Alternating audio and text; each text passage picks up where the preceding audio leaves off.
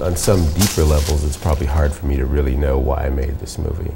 On the, on the other levels that I can see and can recognize, uh, I thought that a lot of the uh, biographies we'd seen, the sort of historical pictures we've seen, especially in terms of the African American experience, were films that dealt with sort of um, people that were disempowered, people that were more victimized than empowered. Well, here comes Melvin says, why not just change the whole situation?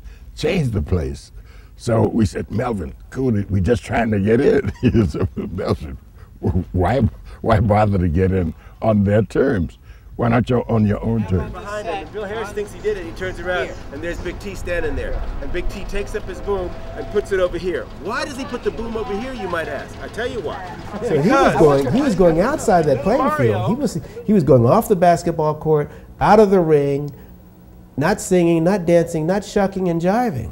Um, your father also was was thought of as a person that um, that they, they they were really afraid of him you become a danger. You are a problem. Melvin Van Peebles was a problem.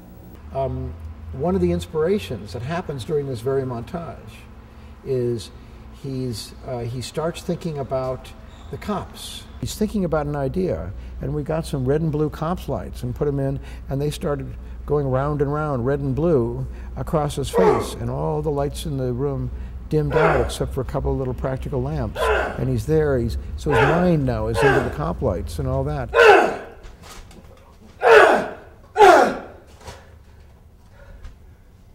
And now fire starts happening. You can think of uh, the Watts riots or whatever you want to think about as far as fire is concerned. This fire effect comes over him. At the end of this whole thing, it moves, and you see the wall that you've never seen during all this time just covered and filled with all these yellow things, and you know that the script is complete. It's a very elegant, very simple way of storytelling. The thing I love about it the most is all these misfits coming together. You know, people that just can't fit in in the studio system or anywhere else for that matter. And somehow these misfits, these outsiders, be they, you know, porn cinematographers or hippie producers or, you know, uh, whatever it is, they come together and they find a family. Clyde is always like the company man. You know, he's trying to be very reasonable, intelligent. You people don't really know how what you're doing. You need a producer.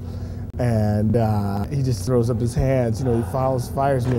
This is bullshit, Melvin. We tried to inject a certain visual style sort of relating back to the original Sweet Sweetback, which was a little ragtag, a little rough around the edges, a little independent. So we've kind of tried to recreate some of the feel of, of the original film in our, in our camera work, both in lighting style and in my particular part of it, which is, is actually operating the camera. So you'll see a lot of handheld work, a lot of um, sort of on the fly uh, improvisation.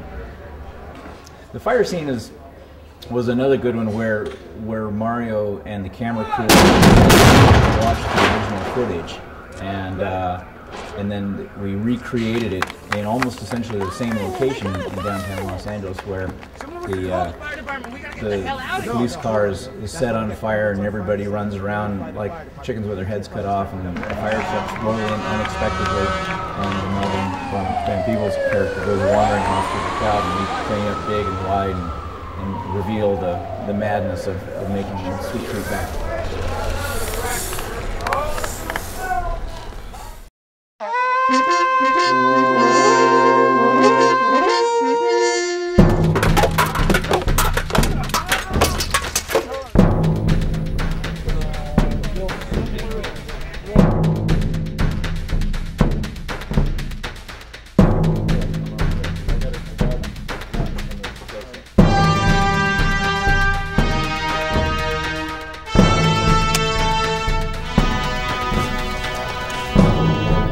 Templar Knights were a special elite fighting group of the um, Crusaders.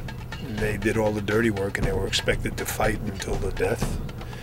They took vows of poverty, chastity, and obedience to the king.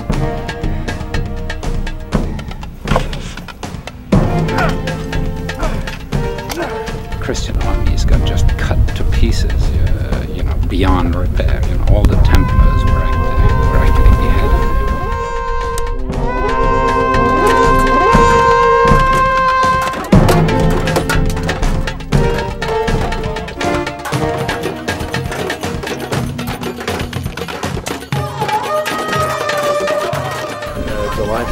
1187, it was the Horns of Hattin, and, and the, the uh, Templars lost the battle big time to Saladin. And I see the Arabs simply as seeing these people as intruders, you know, and that, that come onto our land, and it's holy. Battle of Wales, but at the same time, it was a battle of uh, idealism from two cultures. Uh, as time passes by, and decades and centuries and so on, you think some things have changed, but really nothing has changed. It's kind of uh, an interesting uh, way of, of going around in a circle over centuries and coming back to the same place.